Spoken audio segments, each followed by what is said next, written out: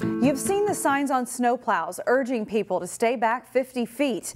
You've probably also seen drivers not follow that request. Delane Cleveland shares this story of why one snowplow driver requests people to steer clear. For more than 20 years, this one's the dump. This dumps the box, okay? Andy Kramer has been one of Minnesota's unsung heroes.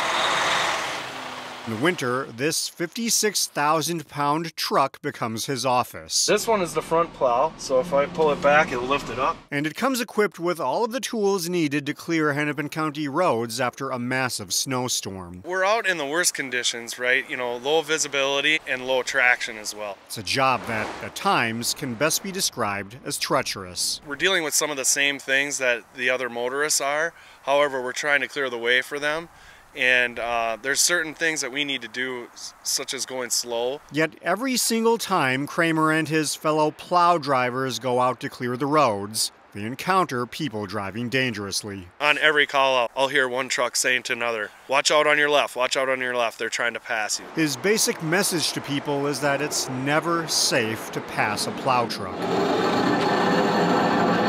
When he and his crews are out trying to clear snow, they see a number of obstacles like mailboxes, fire hydrants, and the occasional horse. Try to go slow around them too so it doesn't spook the horse.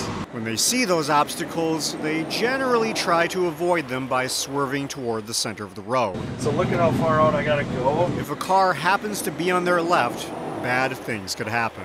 I had a car pull out as I was going out to avoid a mailbox and almost pushed them into the ditch. At that point, I cannot slow down fast enough to let them even by because I'm, I'm already over in that lane. We're much wider than the lane actually is. They're taking a huge risk and it's not worth it. Being stuck behind a plow may seem inconvenient, but Kramer says it's the safest place to be when they're out doing their work. This truck weighs around 56,000 pounds and a passenger vehicle weighs 4,000.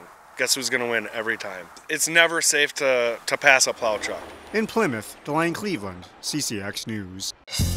Find more local news stories at ccxmedia.org and follow us on social media.